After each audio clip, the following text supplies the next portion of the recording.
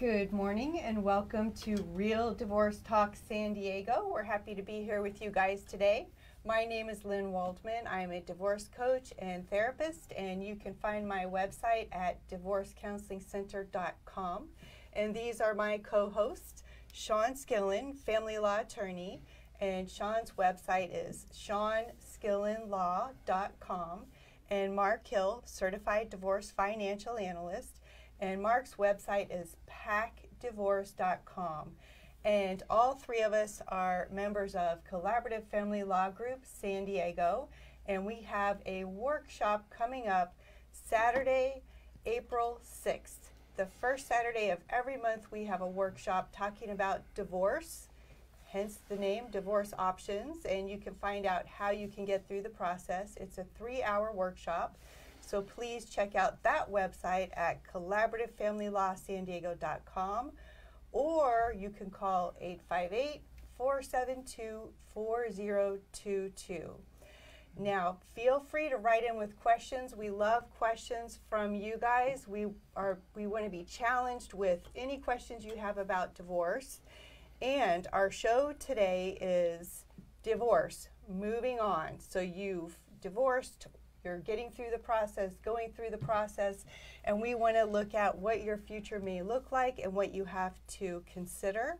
So, um, Shawn and Mark, what are some legal and financial aspects that people might want to consider um, as they are moving on and moving through the divorce process? And maybe for some of our clients, things have calmed down a little bit. What do they still need to consider and think about? Okay, from a legal standpoint, look at your marital settlement agreement or the judgment that you got from the court if you had a trial and go through that kind of paragraph by paragraph and make sure that you're doing what you're supposed to be doing. Things like changing the titles on the car, changing the beneficiaries on your health insurance or not your health insurance, your life insurance, um, your retirement plans, you're dividing up your bank accounts, you're finishing up the qualified domestic relations orders to divide your retirement plans. There's a lot of little nitpicky details that are in that marital settlement agreement that just need to be followed up on. It's not necessarily crucial that it be done tomorrow, but it should be done in fairly short order, especially things like retirement plans. People tend to kind of get that agreement signed or get through the trial and then take a big sigh of relief and then try to relax for a while. And there's just some things that you really do need to kind of tidy up. So go through that paragraph by paragraph and just take care of the things that are that are in there. Also, don't forget to do a new will and a trust. So your marital settlement agreement, if you had a family trust, terminated your family trust, and so now that you're single again or almost single again, you need to go to uh, an estate planning attorney and get your your affairs in order in that way. Shawn, what would happen if um, the, your your ex spouse now isn't cooperative? How much cooperation do you need to get all that stuff taken care of? Well, some things you just need to take the marital settlement agreement down to the bank or to the place that holds your retirement account or things like that. And sometimes they'll ask for a certified copy, and you can get a certified copy from the clerk at the court if your lawyer didn't already do that to you for $25, I think. Um, and they'll usually make a copy of certain pages and then you can fill out things and sign stuff yourself. If it requires your spouse's signature and they're not being cooperative, they probably have things that they need you to sign off on too. So just say, hey, I need to sign off on this for you. Why don't we get together and you sign mine, I'll sign yours, blah, blah, blah. If that doesn't work, then you need to contact your attorney and then have them write a letter um, to the other attorney, to your spouse, saying, hey, you need to sign off on this. If that's not successful, you can actually go to court and say, you know, my ex isn't signing off on the car title, my ex isn't signing off on the retirement, and they can appoint the clerk to be what they call an elisor, and that means that the court clerk will sign in place of your spouse as an order, and that that court order signed by the clerk and the judge will then go to the bank or the retirement or whatever. Um, so there's there's ways of kind of escalating um, the issue so that eventually it gets taken care of in the court. And if you have to go to court to have an elisor appointed to sign a document, ask for your ex to pay your attorney's fees that you incurred in having to do that, and that will usually be granted. So, of course, as usual, cooperation really goes a long way in resolving these issues and not having that extra added stress of getting things taken care of. Yeah, I mean, getting through a divorce and being as cooperative as possible, whether it's dividing up the stuff, signing the documents, will just, it'll totally save you a ton of stress, a ton of time, and a ton of money. So, as hard as the feelings might be, as raw as the feelings might be, as challenging as they might be, really try and look at it as a, a business thing that you have to take care of, a bunch of tasks that have to be done in this business of divorce, and just get them done. And you'll get through it faster and with less stress and less cost. And so, Mark, financially, what do you think? What should people be thinking about or considering going forward? You need to reorder your financial life completely because everything's changed. Um, uh, from the standpoint of budgets, what is your budget going to look like? Have you done a budget? What can you afford? Um, you probably already have a new residence, but have you gotten to the point where you fully understand what the full expenses are for that residence, what your monthly costs are going to be?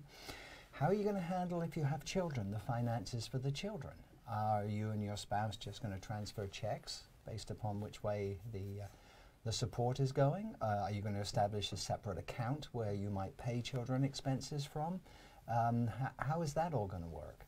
Uh, additionally, long-term planning is really important because many people come out of divorce going, my lord, will I ever be able to actually retire? Well, there's an old saying in my business, nobody ever plans to fail, they just fail to plan.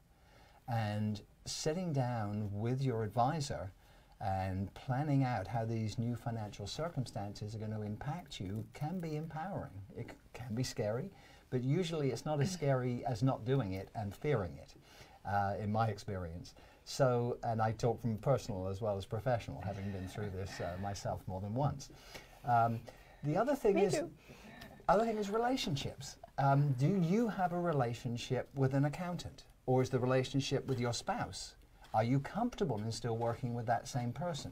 Same thing with a financial advisor you may be working with. Do you feel more comfortable with a new financial advisor? How are you going to find one that's trustworthy? Um, all of these questions should be addressed. And um, as Shawn said, you get through divorce and you go, ah, oh, it's over. I can relax now. From well, some standpoints, you certainly can relax, but there are also issues that if you don't address them, will come back to bite you later. So that is a good question. Like, how would somebody go about finding a financial advisor they trust? How how do you do that? Uh, um, I think you want somebody who's credentialed. In other words, somebody who uh, has a, a, a, license that can be revoked and removed. Um, now, most people will have what's called a Series 7 license that could be revoked, but there again, there's uh, a, a, very large number of people who hold that designation, and the enforcement is not always as uh, intense as perhaps one would like it to be. Um, someone who has a certified financial planner designation, as I do, um, has been through an extensive course um, that covers taxes, investments, estate planning, retirement planning, and investment management. Um, and so at least you know somebody who's well grounded. Also, they have a very uh, precise ethical standards that have to be followed. Um, so look for someone who's a CFP. Talk to people who are friends. Find out, you know, if they've had an advisor for many years that they trust and has done well for them. And I don't mean just made them a lot of money. I mean uh, looked out for their best interests at, at, at every point of the, uh, of the relationship. Um, I think that's probably the best place to start. And I'm also curious when couples do go through divorce, you know, clearly they're splitting resources and one home is now 2 mm-hmm. How long typically, and I don't know if there is a typical, that it takes for somebody to kind of get back on their feet financially? I, I think it takes five years. That was my experience, and I always thought I could do it in two. Uh, my experience was I couldn't. but by five years, I was pretty much, uh, I think, back on my feet. Um, so I think somewhere between two and five years is a reasonable amount. I think it's unreasonable to think that divorce won't have an impact on your lifestyle. And I think that's part of the problem we sometimes have with couples who uh, read that one part, Shawn, of the uh, of the of the code that says Standard I'm of living during the marriage. I'm entitled to Yeah. it, right? And they don't read the next part that says if it's available. It Um, doesn't. s- Yeah, Yeah. it says that that's one consideration, yeah. and what the judges here in San Diego always remind us at our meeting is that they're usually reminding both sides that they're not going to enjoy the same standard of living Yeah. after the divorce as they did during their marriage. So I, a lot of adjustments need to be made for both spouses and for the kids. And I know we talk a lot about uh, not bringing the kids into the divorce and things like that, but the reality is that the kids may have to make adjustments too. And I don't think we do our kids any favors if we if we try and give them everything um, that they want and don't help them understand the reality of of money. I mean, I remember when my kids were little and you'd go to the bank, you know, drive up teller and you'd stick the ATM card in and cash came out of the machine and they thought that was magic. and they just wanted to know why we couldn't just get more money. And I said, because money only comes out of the machine if you put money into the bank at some point and you can only get as much money out as you have in your account at the bank. And so I had to explain that a few times. Um, but they all I- I know had know do how to same- budget. The same with my So- son, only it was with a credit card. I don't have the money for that. Oh, well, just use a credit card. Let me explain how that works. Yeah. you know, for me, that comes down to values and how you explain the value of money to your Yeah. kid. Yeah. And it also comes down to values about who you are, how you define yourself, how you want to live your life. Um, I've noticed that sometimes, you know, out of guilt, parents don't talk to kids about that, or they want them to think that, don't worry, I'm going to always take care of you, you'll be fine. And then the kids miss out on learning about the value of money. I can live in, under an underpass, but the children must still have their private school Right. and their riding lessons. Yes. No, and I Yeah. see that happen all the Yeah. time, and I think that I know you're you're the mental health specialist on this panel. So how do you talk to your children about the divorce, about the change in finances, and that there may be some cutting back? I mean, we went through a big recession ten years ago or so, mm-hmm, mm-hmm. and my kids came home and said, "Did you know so and so lost their house and they had to move in with grandparents?" And my uh-huh. kids were panicked, and they said, "You know." are we going to lose our house? And I said, you know, no. I said, you know, my husband at the time and I had kind of recession proof jobs. And I said, but you know, we, we can grow food in the yard. We're not going to starve. We're not going to, you know, because we garden. Um, so there, you know, nobody's going to starve. We're not going to lose our house. But they were seeing it happen to their friends. And so we have, ever since I've been practicing family law, which is, you know, 24 years now, there's always been this mantra of don't tell the kids, don't tell the kids, don't tell the kids. I've kind of come over the years to think that that's not necessarily accurate. Do you want to involve them in did dad have an affair? Did mom have an affair? You know, all that kind of stuff. No, probably not. Um, especially if they're little. But then, Right. what do you, you know, what is fair, and how do you approach the kids on things like finances and co-parenting, or when one parent has a substance abuse problem? I mean, there are things that the kids have to learn. Yes, completely. I, I agree with that. And I think that, of course, you're going to have to keep it appropriate to the age of the child. You're not going to tell little kids. And, and, you know, mom and dad's interpersonal relationship and who had an affair, all of that does not really need to be told to the kids. It's hurtful information. I don't see how it's beneficial to the family or to the family dynamics. But again, it goes back to knowing your values. What makes up who you are? It's about your sense of self. And because divorce is trauma, because it changes your identity, that through this process, what I like to do as a mental health professional is help clients reestablish who am I? Um, how do I identify myself? How do I want to live my life? Like, what values are important to me? Integrity, honesty, being fair, sticking to my values, not over apologizing. And when it comes to finances, I think it's important for kids to know that There's not always going to be an easy flow of money, as there has been, and um, you know what what is it going to take for you as you grow to be able to support yourself? And maybe that's why school is important sticking with education. Um, you know those are also values that parents can teach to their kids because it's not just about money and things it's it's much Right. deeper than that You know, my personal story is that I grew up with a father who was an entrepreneur and very mercurial. Um, ended up, uh, he was in the real estate business and other businesses, but uh, a couple times basically projects went bankrupt. And I went from having the largest allowance of any kid in my class to zero allowance. and, uh, you know, it was okay. I mean, because the family stayed together. I Yeah. learned that if you, it, actually, it probably helped me become a little bit of a risk taker in my own personal life because I saw that you could take risks. Sometimes it will work, sometimes it wouldn't, but the family survived and we were a cohesive unit and we pulled together when the need came. And actually, I, I see it as a, a benefit having experienced that. so it actually maybe gave you some independence and taught you about being Yeah. independent and how to take care of yourself Yes. yeah Very that's so, yeah. really important Uh, I think the other thing I always say to parents is to don't change a bunch of stuff with the kids. I mean, there's there's a big change going on because you're divorced and your family structure has changed, and they might be living in two new houses or one new house and the same old house. Uh, but don't change their responsibilities. Don't change their bedtimes. Don't change the expectations that they will get up and go to school every day and then do their homework and go to soccer practice or baseball or whatever it is that they do, music lessons um, because those kind of things staying consistent give kids a lot of security. The other mistake I think that parents make is they do feel so guilty about putting their kids through a divorce that all of a sudden they're giving them all kinds of things. And it may not be big things, but it's like you go to the store and the kid says, Dad, can I have a stick- Snicker bar? And normally you would say no because you're going to have dinner in half an hour, and you say yes because you feel bad they they will figure out that pulling on the heartstrings and tugging on the guilt chain, you know, mm-hmm. really works, and they'll work it for as long as you let them get away with it.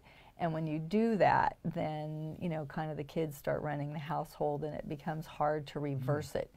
So stick to the rules that you've always cared about with your children, and it's okay if there's rules, one set of rules in mom's house and one set of rules in dad's house or whoever the other parent But is. But the more you can coordinate that, I think the better. I mean, children have this ability to triangulate, right?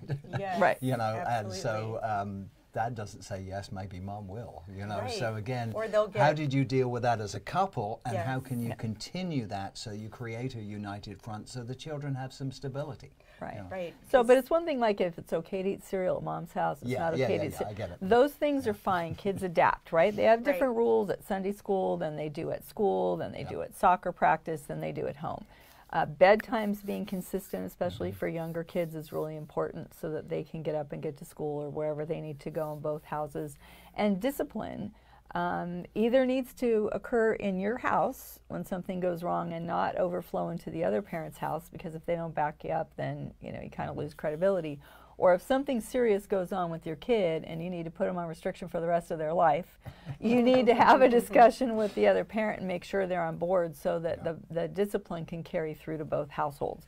Or again, you have one kid saying, Dad, come get me because mom's being so mean. And don't do that either. If, Yeah. if they get in trouble at mom's house, they stay at mom's house and deal with mom. If they get in trouble at dad's house, they stay at dad's house and deal with dad. Don't don't try and rescue them because again, you'll undermine each other's credibility and power as parents, and you'll have a difficult time dealing with your teenagers when they get there. Exactly. And you know, really having that kind of unified parental unit, even Mm-hmm. if you're not together anymore.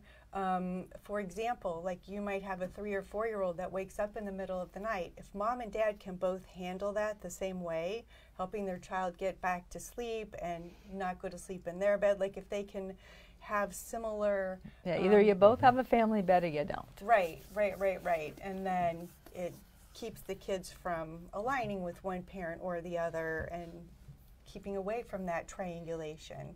Lynn, I have a friend of mine, a psychologist, who some years ago told me that if children, little children, have an intrinsic understanding that they shouldn't be in control, And if they do gain control with a parent, it can actually be scary to them. Absolutely. Is that is that true? I think that's true. yeah. I think it's damaging. It takes them out of being a child, and then Mm-hmm. they're in the role, they become parentified and they're taking care of that parent, or they become very aligned with that Mm-hmm. parent, sometimes against the other parent.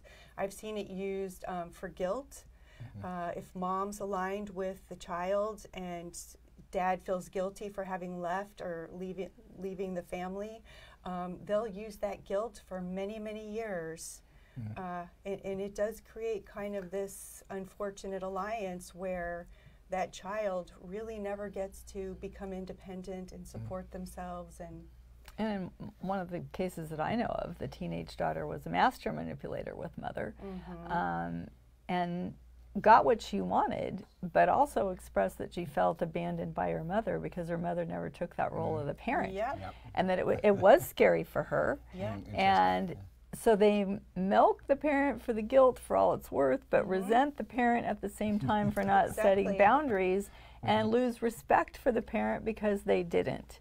And so it can really backfire on the parent who is is trying to be, uh, you know, more generous in a way Right. with and be their friend without setting limits and not Yeah. taking the role of the parent. I mean, teenagers are going through this thing where they feel like they're 30 on one hand and then at mm-hmm. the other time they still feel like they're 5 mm-hmm. and so there needs to there still needs to be some boundaries and, and limits well in fact i recently spoke with a family friend who must be i don't know 34 years old and she was telling me how there's been all these abandonment issues with her parent and you know using those issues to still expect to be financially supported. Mm. And you know not having been healed or been able to move on from those real or perceived you know i don't know abandonment issues. And it hasn't been healthy for her or her family. You know it's mm-hmm. it keeps her from becoming truly independent in her own person. Yeah. Rules boundaries consistency with kids makes them feel safe. Absolutely. Um, and they can you know they like i said they'll see different sets of rules at mom's house dad's house friends house schools whatever. And when they grow up they can decide what they like. But they know where the limits are. They know what to expect. And it does make them feel safe and gives them a place where they can build their own confidence. And you know, that kind of brings me to something we had talked about before the show is a mission statement. Because I know when we we have a collaborative case and we're helping a couple get through divorce collaboratively, one of the first things we do is come up with a mission statement. How do you want to see your family get through this divorce? What are your end goals? How do you want to proceed as co parents? What are your values? What matters to you? And if parents can really get on the same page with a mission statement, I feel like it's such a powerful tool that they can come back to this when they feel that they're veering away. Um, I would love to know how you guys have seen mission statements in collaborative or with your own work and how it's worked for you and, and the families you work with.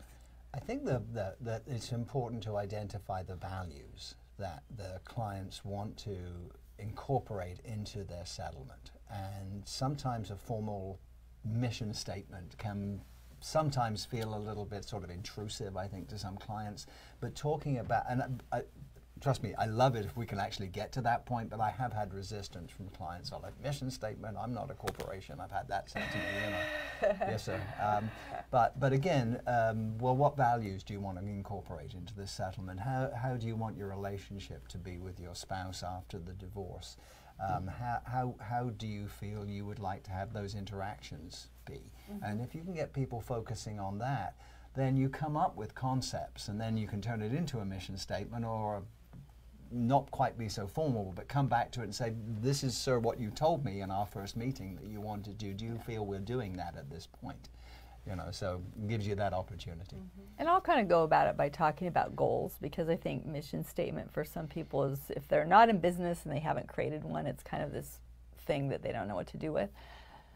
And what's funny is in my mediations is most of the time at the beginning people are focused on their fears. You know, so they're fearful that they're not going to have money, they're fearful that they're not going to have a nice place to live, they're feel, fearful that their children are going to be negatively impacted by the divorce. And so sometimes in letting them talk about their fears, I can turn them around into their goals are to be financially independent, to have their children do well with the divorce and be able to thrive and to learn. And usually, if you have a couple that have children, one of their main goals eh, that you can incorporate into a mission statement or whatever you want to call it is that their children will do well. And so, if you can get them to articulate that in some way or help articulate it with them, then you can keep coming back to that. And so, I'll talk about it in terms of connection a lot of times. How connected do you want to be in terms of your parenting? How connected do you want to be in terms of your finances and in other aspects of your life? Like, does dad, is dad still, well, I have a, a good friend who's been divorced now for probably 10 years, and her husband will still come over and fix stuff.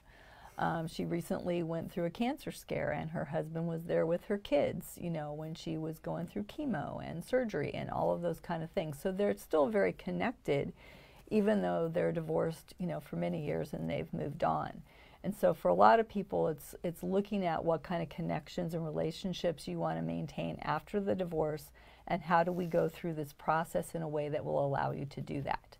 You can't be very well connected as co-parents if you're slugging it out through the divorce and talking about how bad you each are. So, um, so when we talk about moving on, it's not only the legal and the financial. It's you know, it's a reformation of the family, Yeah. basically. Um, And you always say in divorce options, you always say, what kind of story do you want your kids to tell 10, 15, 20 years down the line?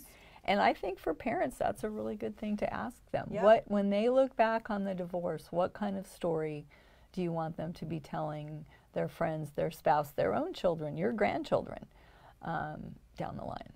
yes, and they can take that mission statement with them all the way down the line. So, so Mark, what about taxes? What do we need to know about taxes? Because tax season is upon us. Right. Moving on.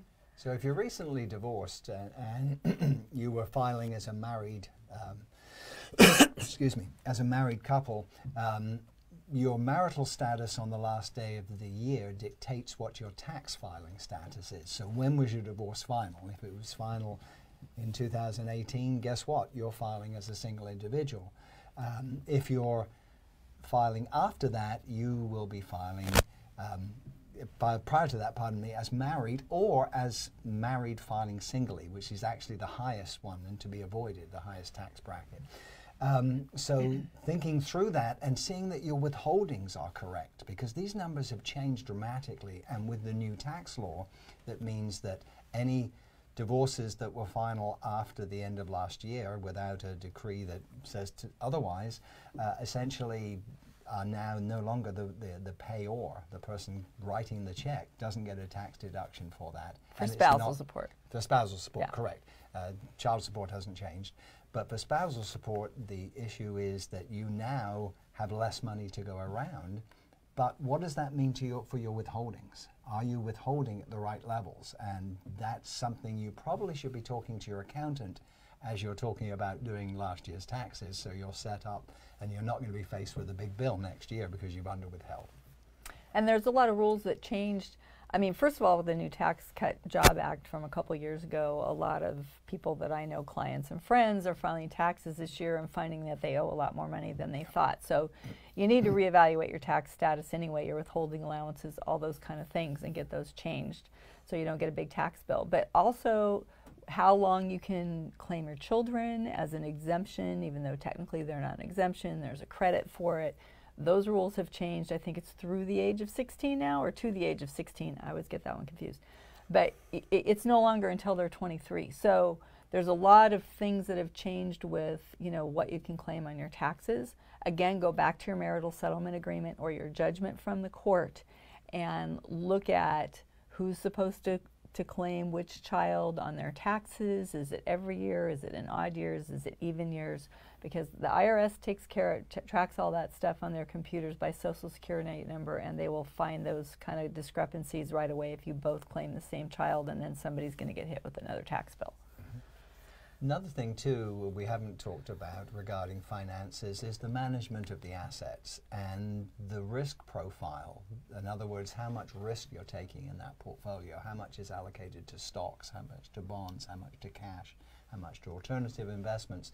And that many people sort of set it and forget it. They just literally set their allocation, and years go by.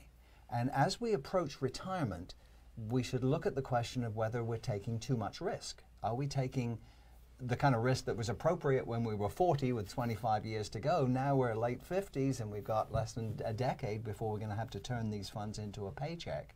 Volatility in markets is something that will always exist.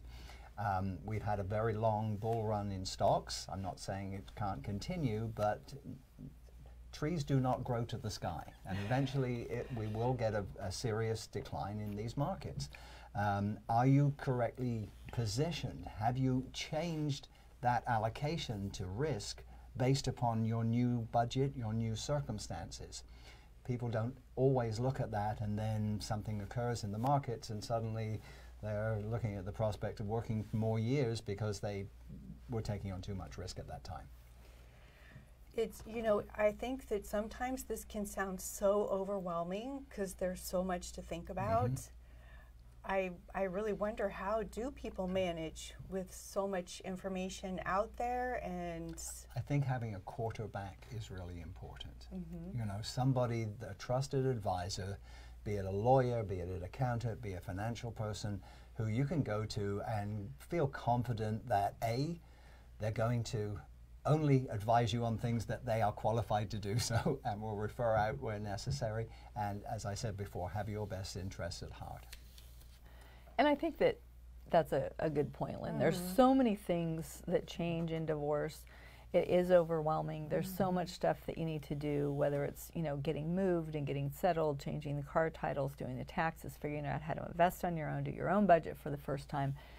Just keep plodding away. The worst thing that you can do is bury your head in the sand and ignore it all. So have a list. You've got a list in a way in that marital settlement agreement again and just have that list. And if you can only deal with one thing a week or one thing every two weeks, just keep working away at it. Um, and then you'll, you'll get there eventually. And I have so many clients, usually women, who have never dealt with the finances, have never dealt with buying their own car. They don't know what the, the pink slip is for the car or what the title is. And I've had some have to hire somebody to go down to the bank with them to open their accounts, to move things over, just to get that done because they're so overwhelmed by the paperwork. But as they plod along at it, they really build this confidence and they mm-hmm. do learn and they do realize it's not that hard. So just keep picking away at it one little thing at a time and you will get it done and you'll feel much better about it and you'll figure it out. And you know, I would say from the mental health perspective, it is about self care, that you do have to have that balance, that you mm-hmm. do want to focus on self care, whatever that means for you. And at the same time, still having this list, like you say, and just keep, you know, plodding away. And if you're overwhelmed with emotion, you know, notice the emotion, notice where you feel it. And I'm sure I've mentioned this before on the show, but we have a saying name it to tame it. If you can become aware of that emotion, say it out loud, notice where you might feel it physically, it has a way of moving through us like waves in the ocean. Mm-hmm. So we want to think about riding that wave of emotion until you can be effective. And it can be empowering. Mm-hmm. It really can. I have seen, um, as you say, Shawn, usually ladies who are coming in who have not been, they've raised sometimes a large number of children and allowed the finances to be handled by their spouse. And as they gradually as you point out, Lynn, as they gradually accomplish these tasks, the confidence level goes up, and eventually it can be empowering. And mm-hmm. um, it, it's something that uh, people don't anticipate. It's really a surprise. Yes. But it but it happens, and yeah. it's the most rewarding thing for me as a divorce professional to see um, the, usually it's the, the wife that gets more accomplished in managing the financial and technical day-to-day stuff of, uh, of the thing. And for dads, yeah. it's becoming a better parent. Um, you know, dads have a really hard time for that first six, eight, 12 months figuring out how do I go to work and manage the kids. You know, get them to soccer, get dinner on the table, go to the grocery store, get their homework done, get them bathed, get them put to bed each person kind of realizes that the other person, even though they didn't like being married to him, Did stuff. did stuff um, that they maybe didn't get credit for. And now they have to do all of that stuff on their own, the stuff they always did plus what the other person did. And so for, for women, it's often overwhelming learning the finances. For dads, it's, it's getting the parenting routine down. But they do and they figure it out and they they get better at it and they have that confidence that grows and they usually Mm-hmm. really find that they like having this relationship with their kids that they get to make into whatever they want and not the way their wife told them that they had to read the story or put on the pajamas or do the baths. So it's, it's very it's very rewarding for both parties. Um, but give you but be nice to yourself. Like lynn said you know self-care uh, take a break now and then, go for a walk, have a nice glass of wine, not too many, um, because it is it is a difficult transition, and so just go with it, and it really does get better. Yes. So, what would be some final thoughts about moving on? What would you like clients to know or tools they could take with them? make a list make a list. And as you accomplish as don't be panicked by how long it is but as you accomplish things cross them off. And that's where the accomplishment will start to you know be felt by you. So i would say just quantify what you have to do and what's important. Um, take take the first month off it's okay. Take a deep breath. No problem with that. But but don't be sort of 12 18 2 years down the road going i really should look at all that stuff um, i'm going to tell a horror story if i can Oh, please. from my investment past. I had a client who worked for um, both clients, second marriage. They worked for a major airline that was based in San Diego, and then it got bought, and uh, they moved to Pittsburgh. Um, unexpectedly, he died. Okay. Um, about three months later, unexpectedly, she died. Wow. Uh, there were two IRAs. His was much larger than hers. They each named their spouse as beneficiary. But what had happened was they didn't change those beneficiaries. And so what happened was he died, money went to her account, she died, it all went to her children. His kids got nothing. Mm. So again, if you don't do this beneficiary stuff, it can end up with situations that are totally unexpected. Um, so that was not the intent, by the way, of mm-hmm. either of them, but mm-hmm. that's how the mechanics work just because the client didn't change beneficiaries. And so you face the same thing in divorce. And, And not that's- expecting that unexpected tragedy. Right, exactly, mm-hmm. yeah, yeah. Right, and th- and that happens when you don't get the retirement stuff straightened out. You don't get the QDROs filed, and the IRA is divided, and the 401ks, and one of you gets remarried, and goes down and changes the beneficiary to the new spouse, and then that person dies, and all the money goes to the new spouse, and the first spouse didn't get their share of the retirement, and then you have a big mess that you're trying to clean up. So it, it is important to carry through and use that MSA as a list, but again, just plod along with it. Um, and I guess I would say um, be kind to yourself, be patient with yourself, um, and, and just keep moving along. And do have confidence that things will get better, but be patient because it does take time. And, and I would say that there will be a silver lining that, uh, like we mentioned earlier, divorce is trauma, and you will get through it, and you'll find things out about yourself you had no idea about that you could do, no clue, and you're going to be a stronger person for it. Um, it's difficult, and you will get through it. And I would say that if you have questions, you definitely want to consult professionals who can help answer your questions um, because knowledge is power and it's, it's reassuring when you have the right answers. And that brings me to reminding folks that we do have our divorce options workshop. It is April 6th. It's the first Saturday of every month from 9 to noon in Carmel Valley. And we will have a family law attorney, divorce financial analyst, and a mental health person, such as myself, a divorce coach, there to answer all questions because divorce is legal, financial, and it's emotional. It's a great workshop. Um, and if you are interested, please check out our website, collaborativefamilylawsandiego.com, or give us a call 858 472 4022. We would love to have you at our workshop. And if you would like more information, Shawn Skillin, her website is shawnskillinlaw.com. Please reach out to her. And Mark Hill, certified divorce financial analyst at packdivorce.com. And you can find me, Lynn Waldman, at divorcecounselingcenter.com. Um, any final messages for our viewers today? Process, not an event. Yes. It's a process, not an event. And it takes a little time, but um, if you focus on it, you will empower yourself throughout it. Great words of wisdom. I have nothing more to add.